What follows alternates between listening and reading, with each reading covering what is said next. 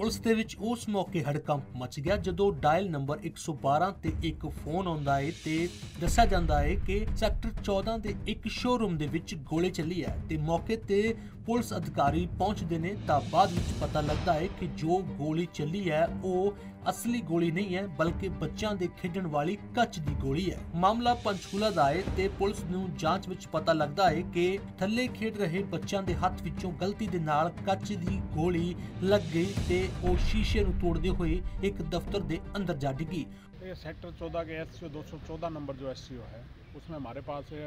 control room से सूचना आई थी अ, कि किसी बंदे ने फायर किया है मौके पे हम गए, मौके पे जाके हमने देखा सीन ऑफ़ क्राइम को भी हमने बुलाया तो वहाँ से एक जो है कांच की जो गोली है